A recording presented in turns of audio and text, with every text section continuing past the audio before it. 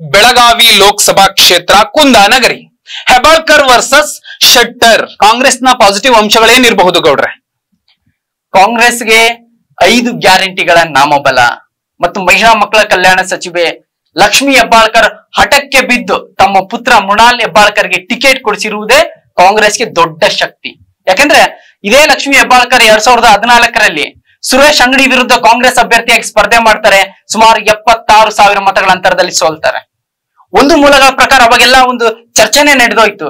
ಸುರೇಶ್ ಅಂಗಡಿಯ ನ ಲಕ್ಷ್ಮಿ ಹೆಬ್ಬಾಳ್ಕರ್ ಕ್ಲೋಸ್ ಮಾಡ್ತಾರೆ ಅನ್ನುವ ಚರ್ಚೆ ನಡೆದಿತ್ತು ಆದ್ರೆ ಫಲಿತಾಂಶ ಬಂದ್ಮೇಲೆ ಮೋದಿ ಅಲೆಯಲ್ಲಿ ಲಕ್ಷ್ಮಿ ಹೆಬ್ಬಾಳ್ಕರ್ ಕೂಡ ಬೆಳಗಾವಿಯಲ್ಲಿ ಸೋಲ್ತಾರೆ.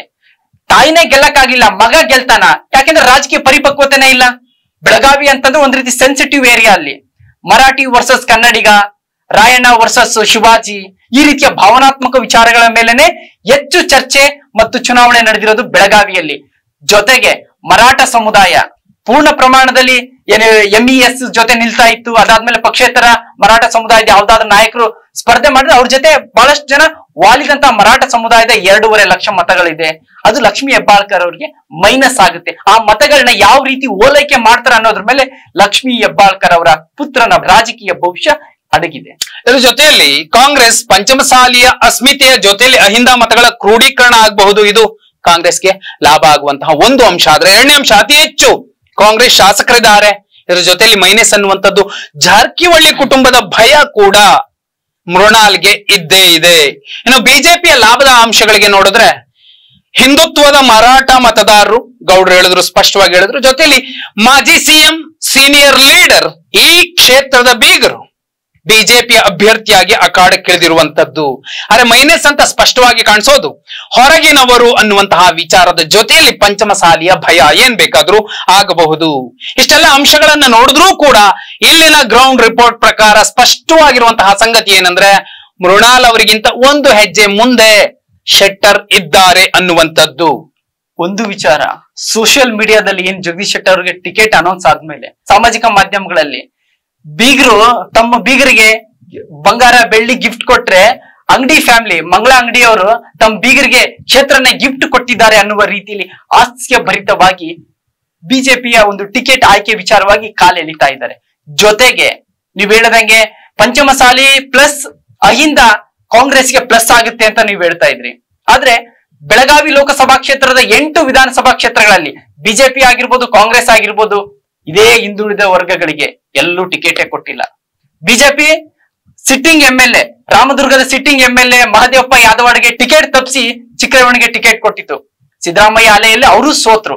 ಅದಾದ ನಂತರ ಜಾರಕಿಹೊಳಿ ಫ್ಯಾಮಿಲಿ ಬೆಳಿಬಹುದು ಲಕ್ಷ್ಮೀ ಹೆಬ್ಬಾಳ್ಕರ್ ಬೆಳಿಬೇಕು ಅಂದ್ರೆ ಅಹಿಂದ ವರ್ಗದ ಮತ ಬೇಕೇ ಬೇಕು.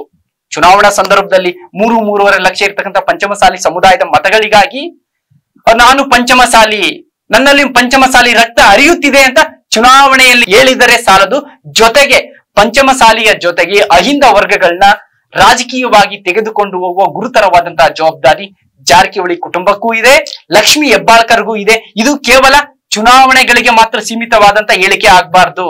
ರಾಜಕೀಯವಾಗಿ ಆ ಸಮುದಾಯಗಳಿಗೆ ಒಂದು ನೈತಿಕ ಸ್ಥೈರ್ಯ ತುಂಬಬೇಕಿದೆ. ಅದನ್ನು ಮಾಡ್ತಾ ಇದ್ದಾರಾ? ಈ ಅಸಮಾಧಾನ ಬೆಳಗಾವಿ ಚಿಕ್ಕೋಡಿ ಲೋಕಸಭಾ ಕ್ಷೇತ್ರದಲ್ಲಿ ಅಂಡರ್ ಕರೆಂಟ್ ಆಗಿ ಜಾರಕಿಹೊಳಿ ಫ್ಯಾಮಿಲಿಗಾದ್ರೂ ಆಗ್ಬೋದು, ಲಕ್ಷ್ಮಿ ಹೆಬ್ಬಾಳ್ಕರ್ ಪುತ್ರನಿಗಾದ್ರೂ ಆಗ್ಬೋದು, ಎಲ್ಲಾದ್ರೂ ಒಂದ್ ಕಡೆ ಶಾಕ್ ಕೊಡುತ್ತೆ ಅಂತ ಹೇಳಿ ಆ ಆಶಾಭಾವನೆಯಲ್ಲೇ ಶೆಟ್ಟರ್ ಅವರು ಬೆಳಗಾವಿಯಲ್ಲಿ ನಿಲ್ತಾ ಇದ್ದಾರೆ ಅಂತ ಒಂದು ಚರ್ಚೆ ನಡೀತಾ ಇದೆ. ಮುಂದಿನ ಕ್ಷೇತ್ರ ಚಿಕ್ಕೋಡಿ ಲೋಕಸಭಾ ಕ್ಷೇತ್ರ. ಜಾರಕಿಹೊಳಿ ವರ್ಸಸ್ ಜೊಲ್ಲೆ. ಇಲ್ಲಿ ಕಾಂಗ್ರೆಸ್ನ ಬಹುಮುಖ್ಯ ಅಂಶಗಳು, ಲಾಭದಾಯಕ ಅಂಶಗಳು ಅಂತ ನೋಡಿದ್ರೆ ಸುಮಾರು ಮೂರು ಲಕ್ಷಕ್ಕೂ ಮಿಗಿಲಾದಂತಹ ಕುರುಬ ಸಮುದಾಯದ ಮತಗಳು ಅಹಿಂದ ಕ್ರೋಢೀಕರಣ ಆಗುತ್ತೆ ಅನ್ನುವಂತಹ ಬಹುದೊಡ್ಡ ಆಶಾಭಾವನೆ.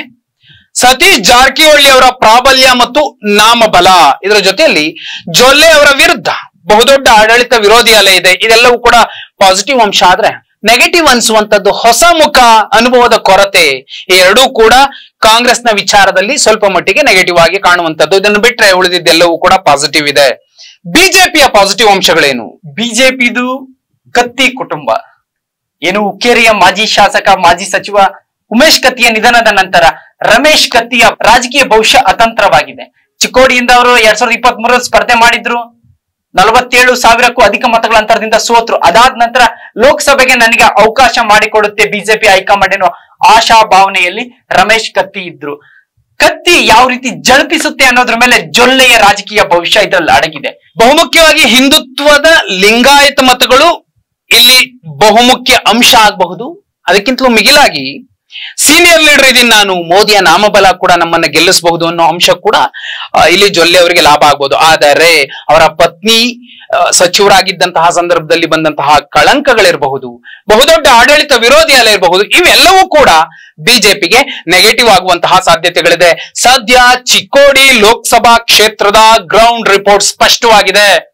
ಸೀನಿಯರ್ ಜೊಲ್ಲೆಗಿಂತಲೂ ಜೂನಿಯರ್ ಜಾರಕಿಹೊಳಿ ಒಂದು ಹೆಜ್ಜೆ ಮುಂದಿದ್ದಾರೆ. ಬೆಳಗಾವಿ ಮತ್ತು ಚಿಕ್ಕೋಡಿ ಲೋಕಸಭಾ ಕ್ಷೇತ್ರಗಳ ಗ್ರೌಂಡ್ ರಿಪೋರ್ಟ್ ಏನು? ಇದುವರೆಗೂ ಸಾಕಷ್ಟು ಚರ್ಚೆ ಮಾಡಿದ್ವಿ. ಪಾಸಿಟಿವ್ ನೆಗೆಟಿವ್ ಅಂಶಗಳನ್ನ ನಿಮಗೆ ಕಣ್ಣಿಗೆ ಕಟ್ಟಿಕೊಟ್ವಿ.